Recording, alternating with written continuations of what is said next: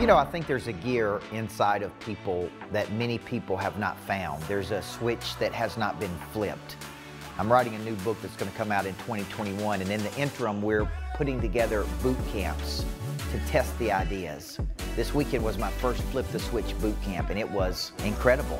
The only thing I know to say was it was absolutely incredible. Think of it as success camp. Think of it as 24 hours with me on what I would teach myself if I was 20 years old again.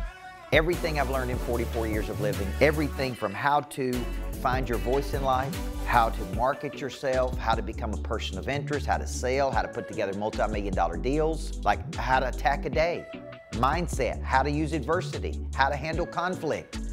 These are things, guys, that are never taught in school. So I've had a great time. The people were incredibly hungry. The outcomes were great. I think it was truly transformational. So if you're out there and you're thinking, man, I got another gear that I haven't found. I've got a switch that hasn't been flipped.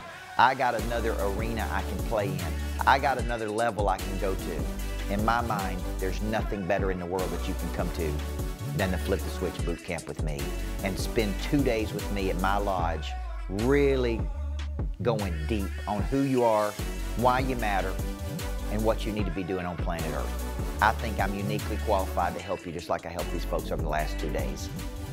There's five activators of this drive. I helped find that activator at Flip the Switch. So incredible boot camp. Thank you to all the people that came. I can't wait to do another one.